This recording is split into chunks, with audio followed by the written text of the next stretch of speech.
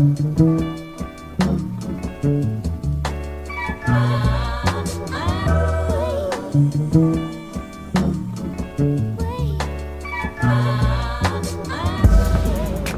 adventure has begun. Coming to the train station, realizing we don't have Hungarian money. Not too good.